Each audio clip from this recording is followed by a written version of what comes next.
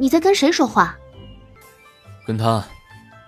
他下巴点向鹦鹉，玉飘雪顺着视线看去，见到石头上一只纯色羽毛的鹦鹉，看上去十分的漂亮。好漂亮的鹦鹉啊！不知道有没有主人？我没有主人，你要是愿意的话，可以把我包养起来，只要每天给我吃的就好。我吃的不算太多，也不打嘴，甚是好养活。他清晰的感觉到自己的嘴角抽筋了。他，玉飘雪一只手还拿着飞鸟，就这样看向殷湛然，显然在问他：这鹦鹉是成精了吗？殷湛然也摸不清这鹦鹉，接过玉飘雪的眼光。我见你身子不大，不想力气倒是不小，居然叼得动鸟腿。不奇怪，我能叼动好几斤的东西呢。你是鹦鹉吗？难道我不像鹦鹉？外表是，但内里不是。鹦鹉若是有这般聪明，那世间的人不都是鹦鹉了？我的族名叫苍鸦琴，至于我的名字嘛，我自己给自己起了一个，叫天涯。飞禽有双翅，自是游天涯。玉飘雪就这样穿过殷湛然的肩膀看过去，那落在石头上的鹦鹉，不是苍鸦琴，那根本就是一个人。我从来没有在书上看到过你，苍鸦琴，没听说过啊。玉飘雪实话实说，对于被人这么无视，天涯一点都不好奇。别说你们外面的人。就是云雾岛，也没什么人听过“苍鸦琴”三字。你怎么知道我们不是云雾岛的人？云雾岛是被怨气封印的，这里的人身上总是会带着一股子被封印的气息。你们身上都没有。你好像知道很多的样子。苍牙琴这一族，而今只能在云雾岛有。我们生来便聪颖，能看透凡人，寿命能与人同长。虽不能长生，却能不老。知道什么并不甚奇怪。殷湛然发现这天涯是故意在跟他说话，便接了下去。什么叫看透凡人？就是人之本。这世间万物，为人最灵，为人最尊贵。人是天地间最纯净的生物。唉，却无奈这世间人实在是太少。有的人是豺狼，有的是毒蛇，总之人甚是少。又或者说，我能看透人之命。有的人贵命，我便看到貔貅；有的人贫贱，我便看到乞丐附身。哦，原来这样。那你说说，我是什么？你呀，你是凤。我明明是个男人，你怎能说我是凤？雄凤雌凰罢了，且这凤尊贵，自也是你身份贵重，出身天胄。那你说说，他是什么？麻雀，凡物罢了。不过，却是你的贵人。玉飘雪的确知道自己不会尊贵，但是被这么说，心里肯定是不爽的。不过又听到说自己是殷湛然的贵人，心情一瞬间又好了一些。可不是。自己不就是他的贵人吗？若不是自己，他这次必死无疑。财不可露白，才艺不可。你莫不成要做那失了牙的象，砍了脚的鹿？外人来云雾岛得花不少心思，且能进来，必然是有本事的。我能助你在云雾岛行事方便些，待你离开时，顺手带我一族走，何如？一族？莫不成云雾岛有大事发生？是不是有大事我不知道，我没有未卜先知的能力。料想你也知道封印一事，那三百六十五名女子死不瞑目，满心怨恨。这些岁月更是剧增，这怨气继续下去，云雾岛早晚被怨气吞噬，人心也变得恶毒。末日不过早晚，不会。云雾岛不会灭亡。云雾岛在还没有被封印的时候，便有了一个预言，你要听吗？我若说不，那你岂非接不下话了？就像刚刚，你明明就是故意来找我的，却又不肯靠近。若不是我去找你，也没法继续说话。你这人可好生没趣。罢了，那我告诉你便是，那预言许多年前便有，那时候还没有封印呢。蝴蝶引玄凤，末日随风来，浴火破茧日，麒麟对面开。玉飘雪嘴里在吃东西，心里却在想：这预言前两句很简单，蝴蝶指的应该就是蝴蝶草。既然殷湛然是凤，那这玄凤自然是他，他也的确是为了蝴蝶草而来。而末日，是指殷湛然的到来才有末日，应该是这样吧？只是这后两句“浴火破茧日，麒麟对面开”，这是什么意思？玉飘雪不懂，偏过头看着身侧的殷湛然，他纹风不动，自然也猜不透心思。那些新娘子的怨气真的是重啊！天涯顿了顿，感叹的开口。殷湛然也在揣测最后一句预言的意思，却也不懂，这跟麒麟有什么关系？却又听到天涯这话，便从怀里掏出那女鬼给他的发丝。你是说这个？是啊，哎，你留人家女子发丝做甚？他们请我离开时带他们的魂魄走。哦，原是如此。所以你以为他们转世投胎去了，怨气没了，云雾岛便无事了？难道不是？他们的尸骨还在啊，你只是带走了魂魄。唉，这阵法封下，其中阵眼。就是那些尸骨。这么多年来，怨气浸染下来，魂魄虽走了，但尸骨作为阵眼依旧存在。那些怨气附在尸骨上，云雾岛之末日，不过早晚罢了。殷湛然闻言，面色一沉，眼神更加的晦暗，将手里的发丝放回怀里。云雾岛的封印不能解，是吗？殷湛然嗯了一声。云雾岛不能解除封印，那么就只能任由阵法的延续。也就是说，会有一天出现天涯口中的云雾岛末日。我走的时候，你若是要跟着，也无妨。但我不需要你帮助行事。啊啊啊，公子！玉飘雪总算是追上了人，嘴里含着肉，一嘴的油腻，说话都不甚清楚。边走边吃，像什么样？殷湛然看见他这个样子，有些不悦，不过倒也没生气。嗯。他鼻子轻出声，一面拿出一块手帕。玉飘雪有些不好意思的接过手帕。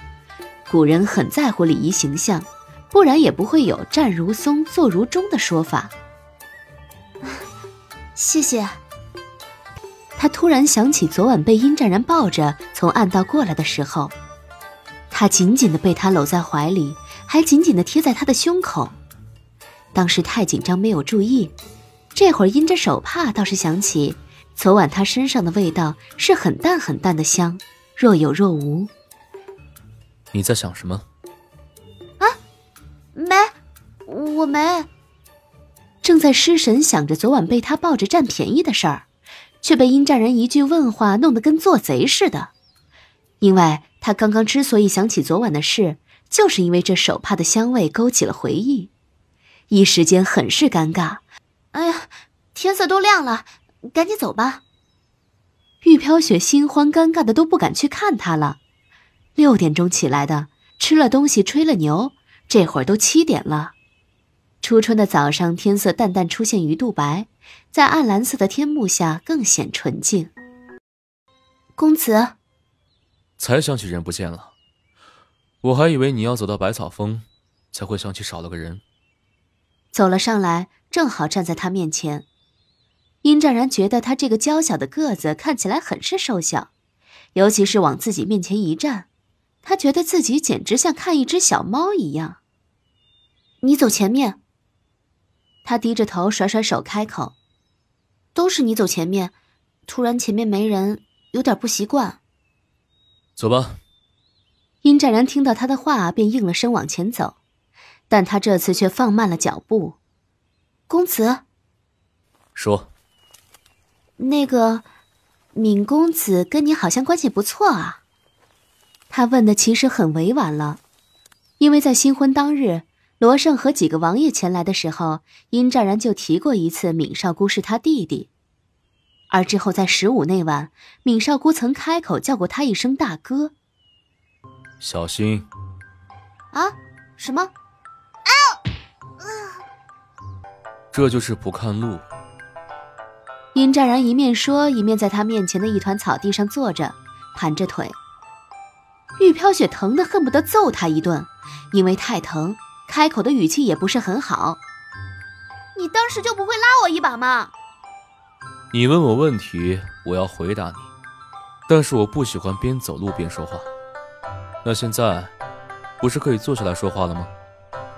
玉飘雪在心里问候了他祖宗一百遍。那你现在可以说了吧？他带着一腔怒气，一屁股坐在地上。也不管地上干不干净，就学着殷湛然盘腿坐着，两人正好面对面。我跟少姑，我们的关系不是不错，而是非常之好。玉飘雪差点吐血了。你知道我要问的不是这个，可你就是这么问的。玉飘雪发誓。如果不是见识了殷湛然彪悍到恐怖的武功实力，他一定会冲上去用手术刀在他身上划上百来刀。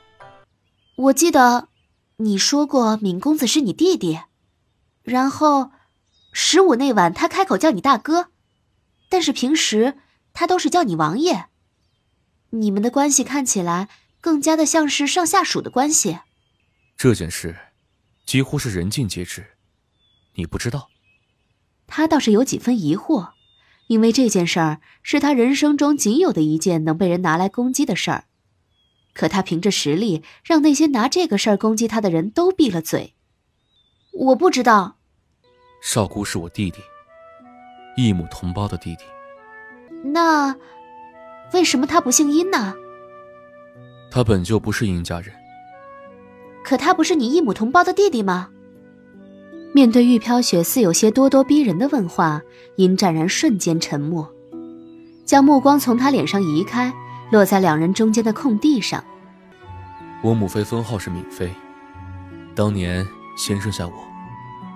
七岁那年，母妃有孕，可就在母妃怀胎五月的时候，被人揭发，母妃与人有染，肚子里所怀的，并非皇嗣。皇帝的妃嫔与人有染，那那我也不可能活着，甚至少姑是绝对不能活着，对吗？殷湛然接过他没有说完的话，也抬起头，重新将目光落在他脸上。我母妃是父皇的宠妃，不管宫里还是房间，一直都说父皇挚爱母妃。虽然那时我才七岁。但至今想来，见过的女子不论多少，皆无一人有母妃一半姿容。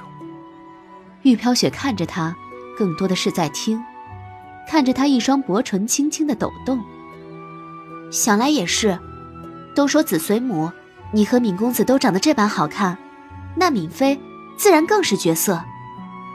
是，不然，母妃又如何宠冠天下？甚至。在与人有染，怀了他人孩子还能活着，而少姑，就是父皇不忍伤害母妃，才准许活着的。但她非殷家人，故而便以母妃封号为姓。原来如此，闵少姑，闵妃。我能想象到闵妃会有多漂亮，让身为一国之君、见尽天下绝色的君王也能容忍至此。玉飘雪微微叹息，真的是红颜薄命。不对，后宫清雅一向血腥，那当年闵妃既然宠冠天下，会不会是有人陷害他呢？母妃，他承认了，承认少姑不是父皇的儿子。殷湛然的语气第一次在跟玉飘雪说话的时候有了起伏。他的语气在说这句话的时候，竟然透着一股子绝望的无力。当时，皇后为了保住皇家颜面，令人赐毒酒于母妃。我那时小，并不大懂事，却也知道事情严重，便立即跑去告知父皇。他匆匆赶来，母妃却已经被灌下了毒酒。父皇虽令太医救下母妃，但少姑却因为毒入母体，伤了身子，才有每月十五受剧毒蚕食之苦。而母妃也在少姑出事之后，求父皇留她一命。父皇答应了，可是当天晚上，母妃却自缢了。多少年了？二十年了。这是二十年他唯一一次开口说起这件事。知道我为什么要亲口告诉你吗？因为我既然问了，就一定是好奇想知道。与其我从别人嘴里听到对你，尤其是对你母亲和弟弟的羞辱，不如你亲口告诉我。殷湛然嗯了一声，他说的一丝一毫也没有错。不管如何，她是我母亲，永远都是。少姑是我弟弟，也永远都是。我不恨他们任何一人。可是，我还是觉得奇怪。敏妃既然都已经是皇妃了，她为什么还要做出与人有染的事呢？而对方既然能认识深宫中的女子，也断然不会是庶人，必然知道敏妃的身份。难道那个男人不怕被诛九族吗？我不知道那个男人是谁，因为当年母妃咬死都不肯开口。他只求保住我们兄弟二人，所以他选择了死，换他们的命。所以，我一定要救少姑。原本我有个心思，但我没打算跟你说。不过而今，既然这件事我也亲口告诉你了，那这个心思，我也可以告诉你。听到这话，玉飘雪好奇的抬起头看着他。只要你治好少姑，让她可以平安健康的过一生，你可以一辈子做你的亲王妃，一辈子享不尽的荣华富贵。我之前在百草峰上说的话作数，你永远是宣王府女主人，两侧妃、四夫人我都可以不要。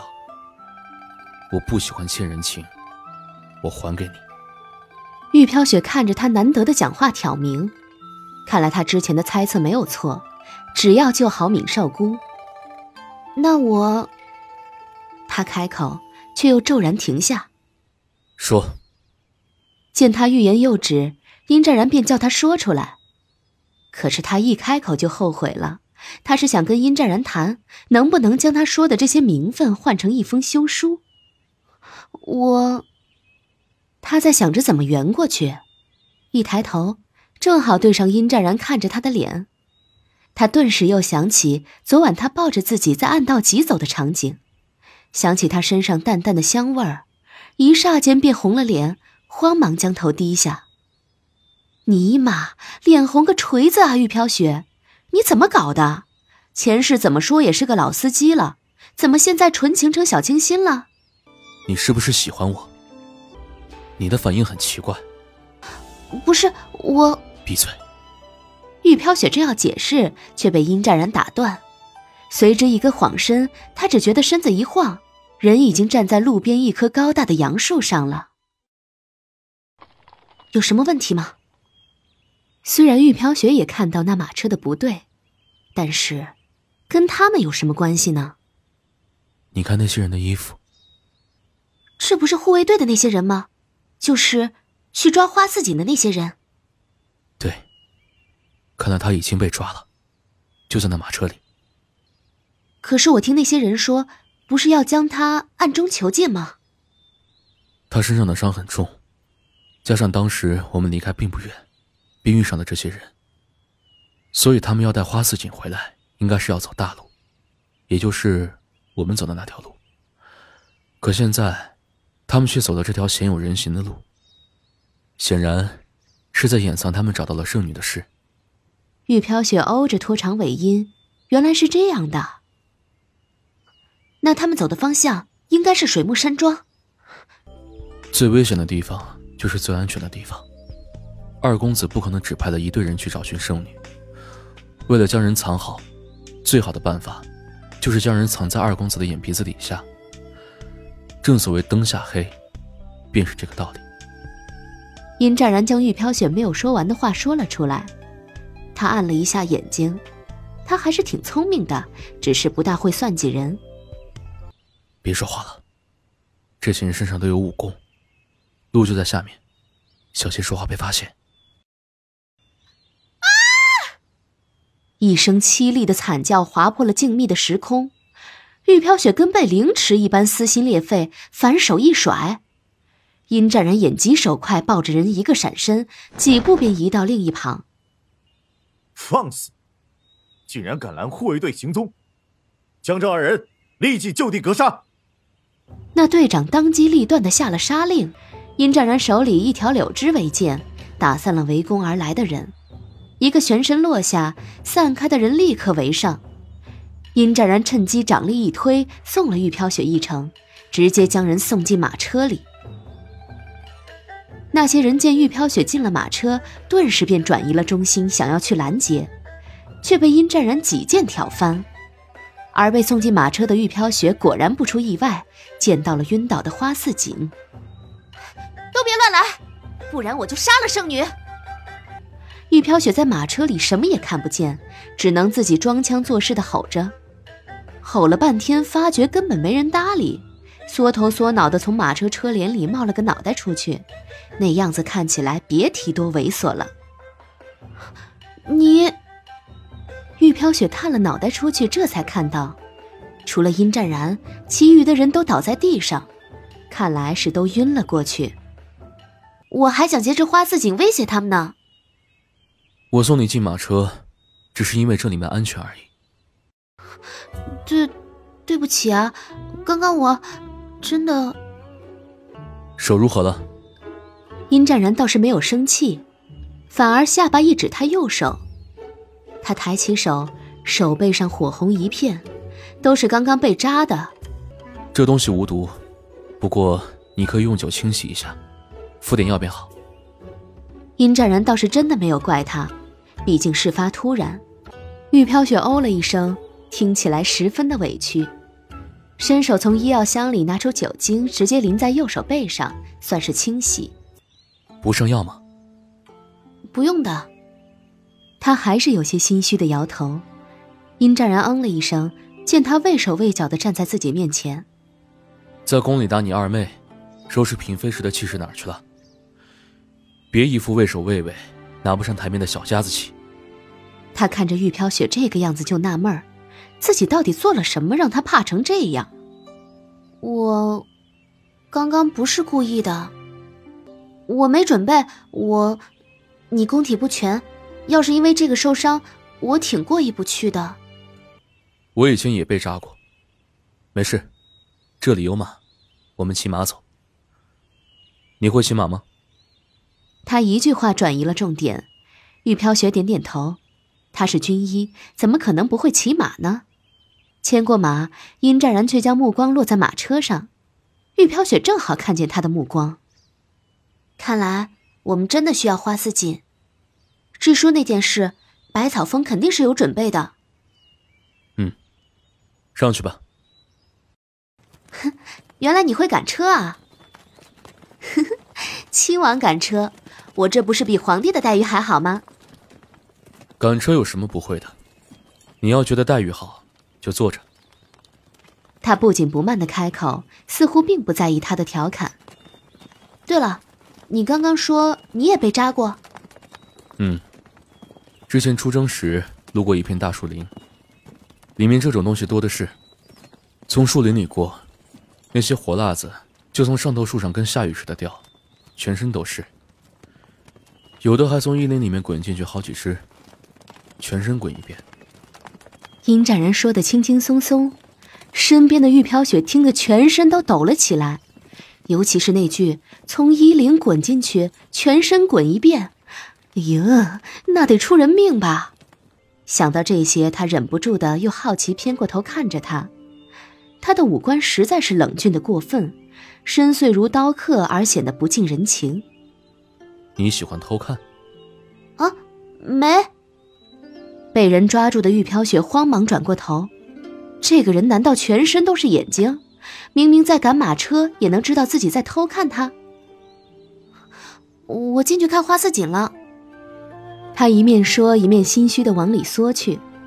但花似锦他刚刚已经看完了，这会儿能看什么呢？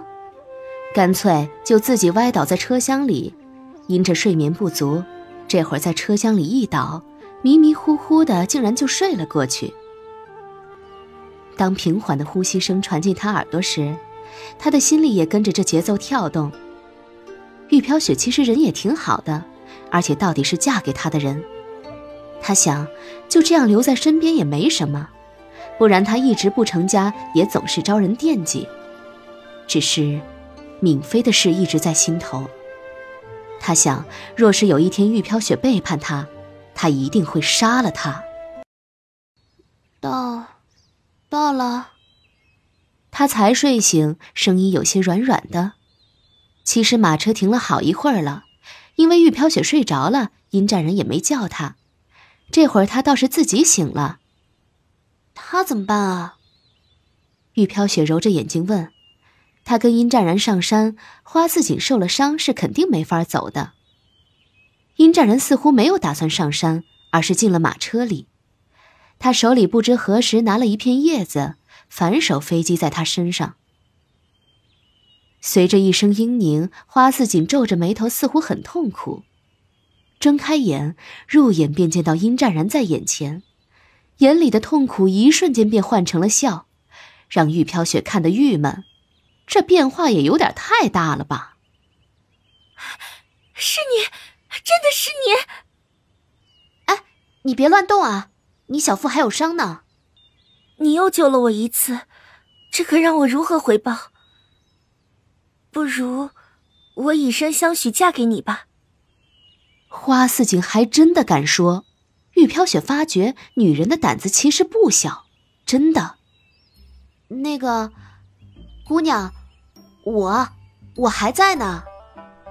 玉飘雪赶忙开口，反手指着自己。自己这个正室还在呢，她这凑过来要嫁是个什么情况啊？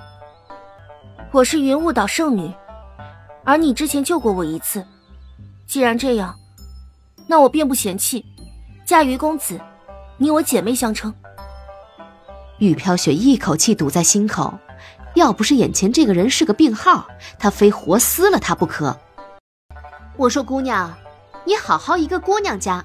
干嘛这么自甘堕落，非要去跟个有妇之夫扯不清啊？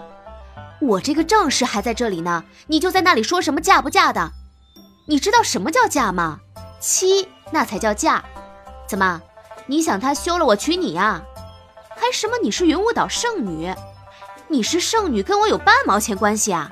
哎，你要不要脸啊？怎么你要跟我抢男人？我还要感谢你看得起我是吧？我说你好好一个女孩子。怎么什么不学，非要学不要脸呢？我说你好好一个姑娘家，怎么就不知自爱呢？你知道他是什么人吗？哪里来的吗？家里是干什么的吗？你连人家名字都不知道，就嚷嚷着要嫁，你是多缺爱，多没自信，多么担心自己嫁不出去啊！玉飘雪气呼呼的一通臭骂，这个花似锦实在是太可恶了。不管怎么说，他跟殷湛然都是夫妻。他就这么恬不知耻的开口说要嫁，还一副我嫁给你老公是看得起你，这逻辑，玉飘雪整个人都要怀疑人生了。你闭嘴！谁许你这么跟我说话？我是云雾岛圣女，是高贵的存在。再说了，你和公子真的配吗？山鸡能配凤凰？或许你的确出身高贵，不然公子也不会娶你。但是你也应该有自知之明。什么叫我出身尊贵啊？你该不会是以为我家很有钱很有权吧？他指着自己的鼻子问。花似锦不屑的冷哼了一声。他跟玉飘雪算是撕破脸了。若不然呢？就凭你这姿容气质，也配嫁给公子？看你那畏首畏尾拿不出手的样子，就算是出身尊贵，只怕也不是正室所出，要么就是外头的私生女。我呸！见过不要脸的，就没见过你这么不要脸的。就你那脸皮，厚的都能刀枪不入了，我说你是不是私生女啊？不然你怎么开口就是这话呢？搞了半天，你才是外头养出来的，怪不得这么不要脸，没人要去抢人家的有妇之夫。怎么你不服啊？对呀，我就是家里有权有势，怎么了？你要是不服，你现在就去死，下辈子投个好胎也变得有权有势啊！玉飘雪可不是包子，被人骂了当然要还回去。这个花自己骂人没逻辑，张口就来，玉飘雪也跟着乱骂。她平时是高高在上的圣女，哪里受过这样的谩骂？一时气得指着玉飘雪的手都是颤抖的，转过头看着端坐在一边看他们吵架的殷湛然。公子，你妻子这般蛮横，你为何不休了她？哼，我蛮不蛮横是我的事，你一个外人掺和什么？休不休我关你锤子个事儿！玉飘雪大骂。殷湛然见他气得脸红脖子粗，便拉着他的袖子坐到自己身边，居然伸手摸了摸他的头顶。刚刚他想要叉腰跟花四锦吵架，结果好几次撞到车厢了。这般激动作甚？